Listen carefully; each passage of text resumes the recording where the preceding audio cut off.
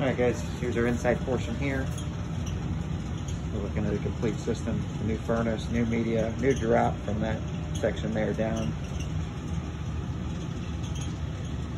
Line set we'll have to flush out or replace, I'll put in the notes. But it's easy access to get to everything. So